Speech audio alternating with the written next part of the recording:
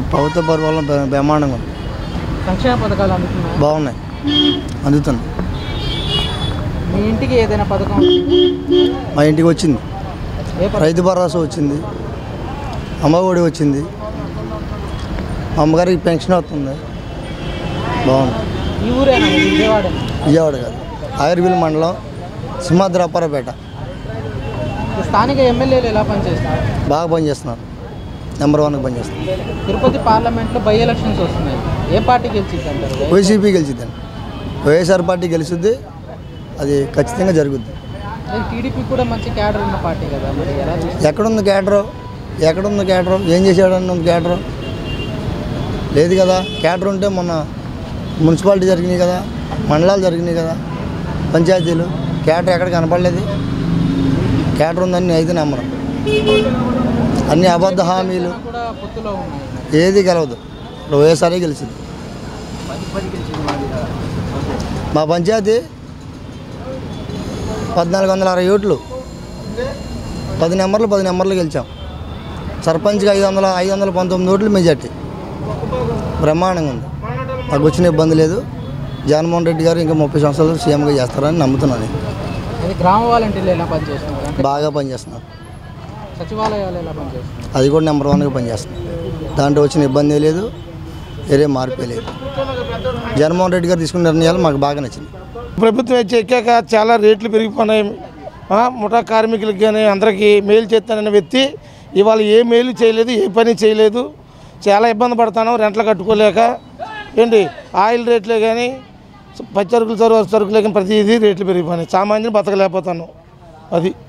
సంక్షేమ పథకాలు ఏమి అందట్లేదు? ఏమి ఏమందుతున్నాయి ఏం అందలేదు. అందే వాళ్ళకి అందుతున్నాయి దాన్ని పట్ట తిరిగిన వాళ్ళకి అందుతున్నాయి. అందని వాళ్ళకి తిరగలే లేవు. అది. విజయవాడలో అభివృద్ధి పనులు ఎలా అభివృద్ధి పనులు ఏమున్నాయి? అభివృద్ధి పనులు టీడీపీలో అయ్యా- బాగా అభివృద్ధి అయినాయి. ఇవాళ ఏం అభివృద్ధి పనులు అయినాయి? ఇవాళ ఏం అభివృద్ధి పనులు జాగలే. ఏమున్నాయి చూడు అభివృద్ధి? ఏ రోడ్లు? నానా సంవత్సరం పడి చేస్తాను ఇవాళ ఎక్కడెక్కడో ఓపెనింగ్ అంటే ఇవాళ తిరిగి తిరిగి అప్ప ఎన్ని జరిగిన మీద తిరిగి వచ్చాం. మోకాళ్ళ నొప్పులతో. ఏం అభివృద్ధి అయింది? చూడు ఎట్టుందో ఎలాగున్నది అలాగే ఉంది ఎక్కడిదక్కడే అది. తిరుపతి పార్లమెంట్లో బై ఎలక్షన్స్ వస్తున్నాయి. ఏమో ఏం చెప్తాం దానికి చెప్పలేము ఇప్పుడు ఇప్పుడు నడిచే బండికే చూస్తాను కానీ నన్ను బండి చూడట్లేదుగా ప్రభుత్వం. వాళ్ళు బండి నడిచే బండి కోసం గెలుస్తుంది అని మా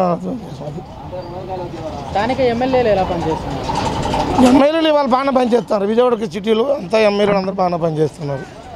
ఎమ్మెల్యేలు ఏం చేయడానికి లేదు. బాగానే అందరూ బాగానే పనిచేస్తున్నారు. ఏం చెప్పను నేను చెప్పండి ప్రభుత్వ పరిపాలన. చెప్పండి ఏం నచ్చలేదు? సంక్షేమ పథకాలు సంక్షేమ పదం ఒకటి ఇస్తే సుఖమే ఉంది.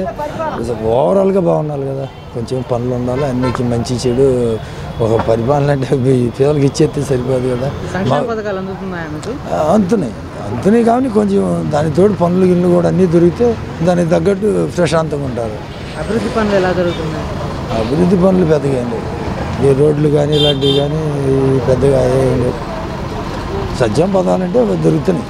అవి అవుతుంది కానీ లోపాలు ఇవి ఉన్నాయి తిరుపతి పార్లమెంట్లో బై ఎలక్షన్స్ వస్తున్నాయి. ఏ పార్టీ అంటారు? YSRCP TDP BJP. ఇప్పుడు అధికారంలో ఉంది కానీ వైసీపీ గెలిచింది. వైఎస్ఆర్ఏ గెలిచింది. వాలంటీర్లు ఎలా పనిచేస్తున్నారు? ఇంటికి వస్తున్నారా? వస్తున్నారు. సచివాలయ వ్యవస్థ ఎలా పనిచేస్తుంది? పర్లా బాగానే పర్లా బాగానే లోటుపాట్లు కొన్ని ఉంటాయి. అనుకో సహజంగా ఉండేవి కానీ. లోటుపాట్లు అనేది సహజంగా ఉండేవి అవి ఉంటానే ఉంటాయి. కాదు కొంచెం కరెక్ట్ చేసి సరి చేసుకొని నడుస్తూ ఉంటే కొంచెం బాగుంటుంది. కాదు ఓడ- ఓడల్లో ఏంటంటే కొంచెం ఆ ఏరియా పార్టీ అన్న వాళ్ళకి కొంచెం అందని ఇట్లా. ఈ లోకల్గా ఉంటుంది చూడు వాళ్ళకి సరిగ్గా చేయని ఇట్లా. అది ఒకటి లోటు ఉంది. అలా కాకుండా కొంచెం అందరికీ అనుకూలంగా చేస్తే కొంచెం బాగుంటుంది. అది మొ మొహ మొహాలు చూసి పథకాలు ఇస్తే కొంచెం అలా తేడా వస్తుంది. అలా చేస్తున్నారు కొంత. స్థానిక ఎమ్మెల్యేలు ఎలా పనిచేస్తున్నారు? మల్లాది విష్ణు గారు అవని? మాది మళ్ళా విష్ణు కాదు మాది గన్నవరం కాన్సెన్స్ గన్నవరం. గన్నవరంలో ఎలా ఉంది పరిస్థితి? వల్లభనేని వంశీ గారు ఉన్నారు యార్లగడ్డ ఉన్నారు. ఇద్దరి మధ్య వివాదాలు అయితే ఉన్నాయి అది ఎలక్షన్ ముందు నుంచే ఉంది వాళ్ళకి. ఎలక్షన్ ముందు నుంచే ఉంది. ఇప్పటికీ అలాగే ఉంది కంటిన్యూ అవుతానండి కాకపోతే కొంత బయటపడతలా అలా ఉంది. గన్నవరంలో ఒకవేళ బై ఎలక్షన్స్ కనుక వచ్చినట్లయితే ఎవరికి ఓటేస్తారు? వల్లభనేని వంశీ గారు? సహజంగా అంటే ఇప్పుడు జరిగితే మటుకి కొంత తేడా జరుగుద్ది. ఇప్పుడు ఎలక్షన్. ఇప్పుడు ఎలక్షన్ అయితే వైసీపీకి జరుగుద్ది. అక్కడ బెదిరింపులు ఇలాంటివి చాలా ఉన్నాయి. లేదా ఇది కట్ చేసేస్తాం తోక. నువ్వు నీవు పింఛన్ అయిపోద్ది. అలాంటివి ఉన్నాయి. మొన్న నెంబర్లో పంచాయతీలోనే అందరిని బెదరేశారు. ప్రతి ఇంటికి వచ్చి వాలంటీర్ ద్వారాగా బెదరేశారు. ఇలాంటివి చాలా ఉన్నాయి. ఇవన్నీ చెప్పుకుంటూ పోతే చాలా ఉంటాయి. అలాంటి మరి ఏం చేస్తారు? సామాన్య నా పరిస్థితి ఏంది? ఇప్పుడు నేను పింఛన్ వస్తుంది అనుకో అసలు నేనేం చేయను? అది రాకపోతే నా పరిస్థితి బాగోదు. అంటే వల్లభనేని వంశీ గారు అలాగే యార్లగడ్డ గారు ఇద్దరు కలిసి పనిచేస్తున్నారా? చేయరు. అప్పుడు పంచాయతీ ఎలక్షన్స్ అవన్నీ లేదు కలిసి ఏం చేయలేదు వేరు వేరుగా చేశారు? వర్గపోరు ఇంకా ఉంది. వరకు అయితే ఉంది. కంపల్సరీ గనక మీకు నచ్చినట్లయితే లైక్ చేయండి షేర్ చేయండి. మరిన్ని వీడియోస్ కోసం మా ఛానల్ను సబ్స్క్రైబ్ చేయండి.